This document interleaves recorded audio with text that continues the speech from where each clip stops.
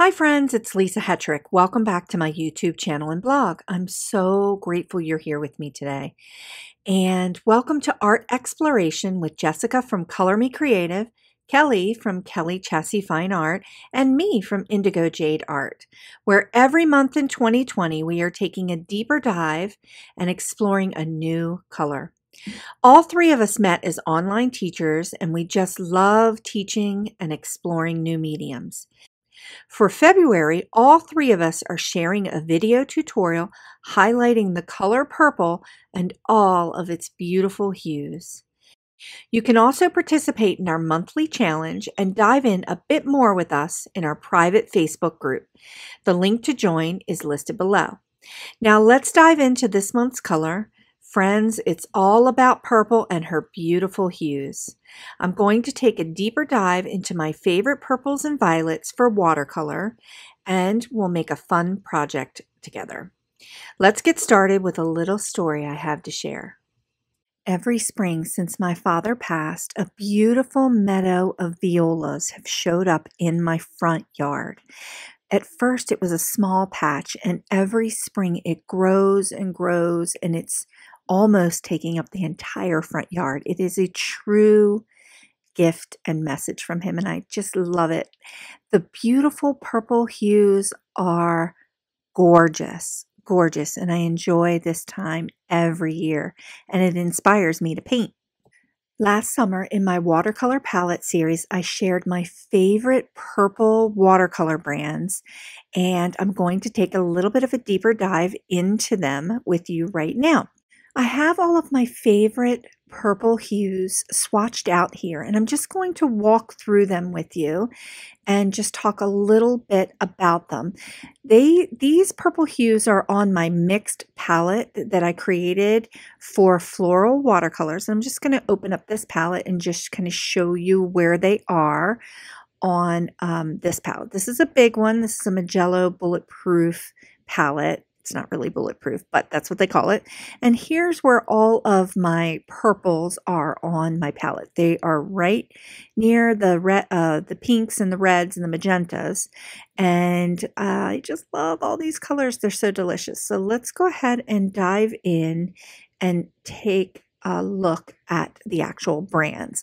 So here are the purple hues that are on my watercolor palette. We're just going to take a quick walk through. I have Daniel Smith Quinacridone Magenta, Daniel Smith Quinacridone Violet, Daniel Smith Quinacridone Purple, Holbein Bright Violet, love that color, Daniel Smith Rose of Ultramarine, love that color. Winsor Newton Permanent Mauve, and that's a really, really interesting granulating color. Sennelier Dioxazine Purple and Sennelier Violet Blue. And those two colors are the colors I'm going to use for the project today, along with the Daniel Smith Rose of Ultramarine. So here's a look at the project I'm going to share with you today, and I'm going to walk through using those three purple hues to create this beautiful viola inspired by my dad. Okay, we're going to take a quick look at the supplies. I have some round brushes here in a 4, 6, and 8. I have two glasses of water um, to clean my brushes. I'm also going to be using some Arches watercolor paper. This is a nice 100% cotton, 140 pound super thirsty watercolor paper. We're going to be doing a lot of wet and wet, so I need a really nice paper for this project. I have a piece of cardstock cut to an A2 size card. This is from Gina K Designs, and it is a slate gray, so a real nice neutral color that I'm going to use to as our card base. So let's go ahead and dive in. So here are the swatches for the colors I'm going to be using. Sennelier Dioxazine Blue, Sennelier Violet Purple, and I'm going to use the Daniel Smith Rose of Ultramarine. So I have them all in tubes here. And I really love these two colors from Sennelier. The Dioxazine Purple is really super nice. They're both really great pigments to use. So we've got a lighter purple and a darker purple. That dioxazine purple is a really, really dense purple hue. And that violet blue color is a nice lighter shade. Now here's my Daniel Smith Rose of Ultramarine and you can see that it's well loved and I'm really running out. So I'm going to be using it right from the tube instead of squirting it out onto my porcelain plate here. I've got a I've got a rough outline sketch of the viola and you can download that for free. The link is listed below, so you can go ahead and grab that. And we are going to paint each element of this project one petal at a time. So let's go ahead and get started. The two watercolor techniques that we're going to be doing for this project are wet and wet and glazing. So right now I am just putting a generous amount of water onto the entire project. And I'm dipping my paintbrush into that violet blue color. So that's the lighter hue of purple. And I'm dropping that color in very generously over top of the whole entire flower. And I'm going in with a little bit of sap green as well from Sennelier. And I'm going to do the same dropping that little bit of color in and you can see I'm just getting it really nice and juicy and wet and dropping that green color into where the petals are for the flower. So the whole painting right now just looks like a wet, washy color mess, but that's okay. It's giving us our foundation of color for adding our layers on top. And it also creates that washy-washy kind of dreamy effect that we get from the painting over on the right-hand side here. So this technique, wet and wet, is so much fun because you can really just kind of explore the amount of water and the amount of pigment and paint that you're using to create different effects. So I went ahead and dried it to get it bone dry. And now I'm moving into working on each petal one at a time. So I've dipped my brush into the dioxazine purple and I'm just did a quick outline of that petal and I'm using the paint that is there in the outline where I have that intensity of color and I'm drawing that paint in. So the brush is wet, the paper is dry, and you can see that I'm moving that color in towards the center of the purple flower. So you're getting a little bit of the varied look from lights to darks in these petals. And I'm just going to be working my way around the entire project doing this very technique adding a little bit of the dioxazine purple along the edge of the petal and then using water to draw that color into the center of the petal. So this technique is called glazing where I'm just adding layers on top of layers of watercolor and you can really get some nice looks here. And I'm loving the granulation in this particular brand of dioxazine purple. There are lots of different dioxazine purples across many different brands so I encourage you to try different brands. But the one from Sennelier has a little tiny bit of granulation in it which allows you to get a little bit more texture in the look and feel of the project. And that's what I was going for. I want to use the paint and the paper to give me some nice textured looks on each one of these petals of this viola. And I'm just kind of digging it. So I'm working one petal at a time and I'm adding a little bit of the dioxazine purple around the edges, dipping my brush and getting a lot of water in there and drawing that color into the center. And allowing that dioxazine purple to be a little bit heavier around some of the edges where the two petals meet so we can get that 3D look and feel of some petals coming forward and some of the petals going backward.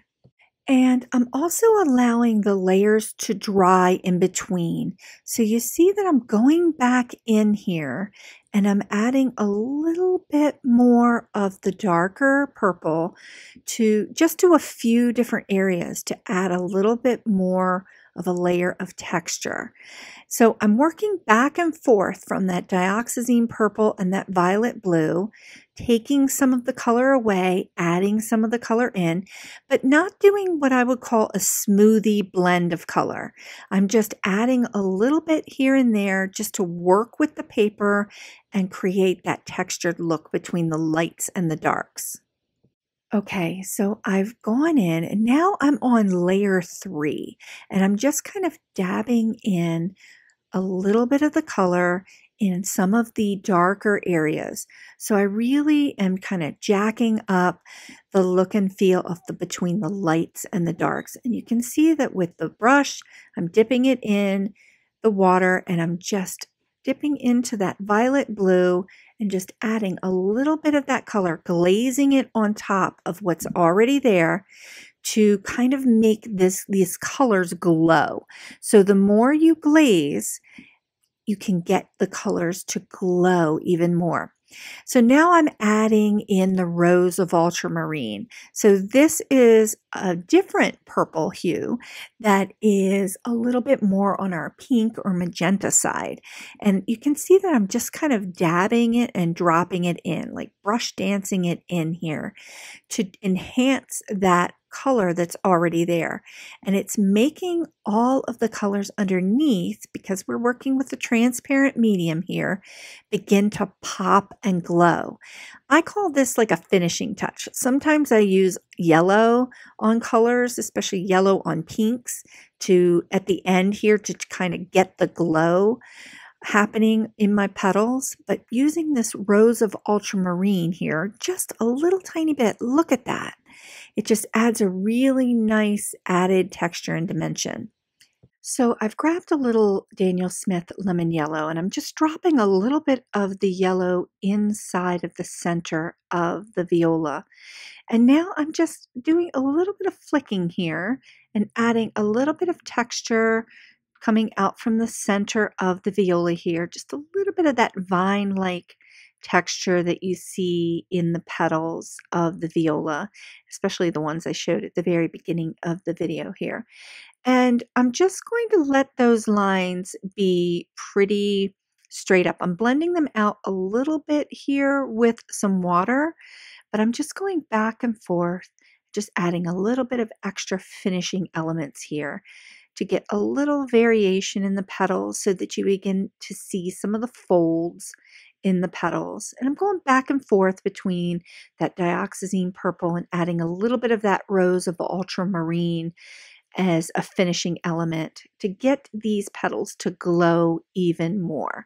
So this is like the last layer for the petals where I'm just doing some of the finishing touches and adding some texture and dimension to the final project. So you can see me just kind of noodling around. Some of the lines are getting blend, blended out and some of the lines are being left just as straight painted lines. Okay, so I'm going to move on and take a little bit of that sap green and I'm just going to do some wet and wet washes with the petals, um, the leaf petals. And I'm just not going for perfection here. I'm going for a loose washy wash with the petals. And I'm going to drop a little bit of that rose of ultramarine and maybe even some of the dioxazine purple into the edges of the petals um, the leaves, excuse me, and just drop that in just to get a little bit of variation of color. So I want to not add too much, like it's sometimes with the water, you get a little too much in there and you can mix a little bit of a muddy color up, but that's okay. I'm just going back and forth between that sap green and that rose of ultramarine and adding a little bit of extra color to the edges of the petals. I'm going to play around a little bit with this sap green and I'm doing a little bit of mixing. I'm going to take a little bit of that dioxazine purple and drop it into that sap green and see what I can create. I'm just playing around. I encourage you to play around with your colors just to get different kinds of mixes with the colors. So I'm getting a little bit of a darker bluish green here, kind of like a perylene green, but I'm being very cautious of adding too much purple to that and getting mud. So I get a little bit of a darker purple, uh, darker green, excuse me, by adding a little bit of that purple, dioxazine purple to the sap green. You can see I'm just going back and forth and just kind of playing around with the color combination here because I just want to add some contrast to the petals, especially the petals that are going to, the leaves, excuse me, I keep saying petals, the leaves, especially the leaves that are going to be closest to the viola petals, I want that color to be a little bit darker. So I'm playing around with that dioxazine purple and that sap green to just kind of uh, get a little bit of contrast there. So I'm just going in here and adding a little bit of rose of ultramarine and just doing some finishing touches on the petals, on the leaves. Now I'm going around the whole entire project with a clean wet brush and I'm just pulling away some of that color just to get a little bit more of a washy-washy look for the final project. And this is finished. I am loving it. So I'm going to go ahead and just assemble the card. I added some double-sided tape to the back of the watercolor paper to put the entire piece onto the cardstock and I am loving the way this came out. Here's a final look at the card project, and I am digging it. I love all this texture and color. Ah, consider getting out all your art supplies and exploring the color purple this month. Have some fun with the wet and wet technique. You can do this. I hope you enjoyed today's art exploration tutorial. Please consider liking this video and subscribing to this channel and head on over to Kellie and Jessica's channels to subscribe and watch their color exploration for this month as well. I've linked up the color palette series video here where I explored purples even further. Thanks so much for watching and I'll see you next time.